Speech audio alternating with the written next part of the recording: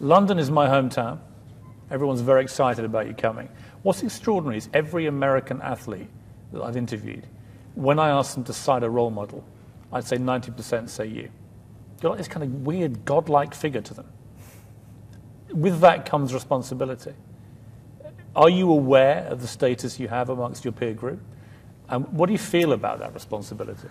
Um, I mean, sometimes I feel it, but I mean, I, I, like to just think of myself as a normal person who just has a passion, has a goal, and a dream, and goes out and does it.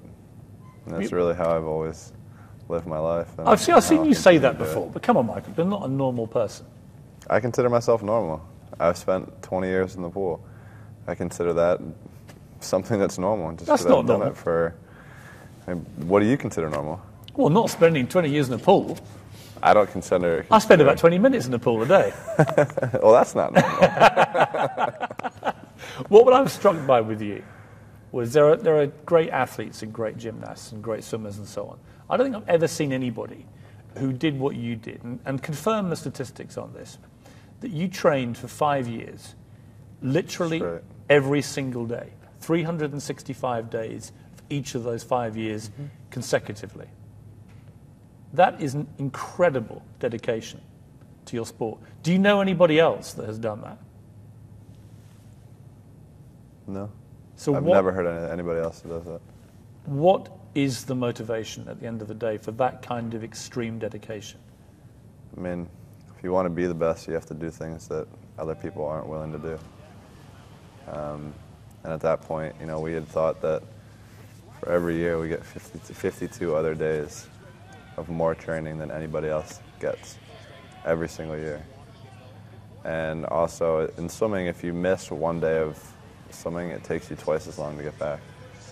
So, you know, for example, for me after 2008, I took six months off. It took me, probably took me really about a year and a half to get back to where I was, like, really needed to be and should be. Who are your sporting idols? Michael Jordan. Why him? He changed the sport of basketball in my eyes. You know, how, how it, you know, on and off the court, the guy, I mean, in my eyes, made basketball what it is. Um, and, and, you know, what he did. I haven't, never met him.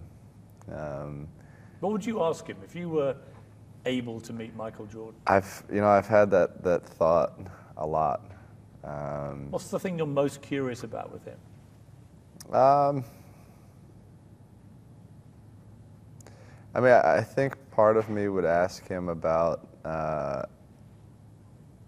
what made him come back to the sport. What made him go to basketball and then decide to come back, or excuse me, baseball and then decide to come back to, to basketball. Um, you know, I think one of the coolest things that, that I love about him was it didn't matter what he had, you know, going on off the court or if he was sick or this or that. He never used it as an excuse. He came out every single night on the court, and he did what he had to do to get the job done. And that's what champions do. It doesn't matter what else is going on when you walk into your arena or your whatever you excel at, you're there to take care of the job that you have to do.